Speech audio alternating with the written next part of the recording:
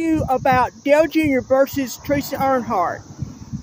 Um, you know, I'm going to be on Dale Jr.'s side about this situation. She's trying to take away his racing number, and I disagree on Dale Jr. on some things uh, about the Confederate flag, but um, I I'm gonna have to be on Dale Jr.'s side about this. She's acting very greedy about Dale Jr.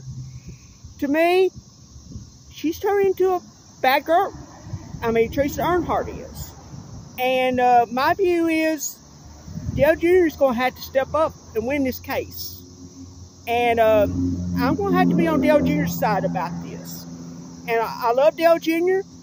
And I grew, uh, I cheered for him back in the day, but and uh, but uh, but he kind of got political a little bit, and I kind of got away from him.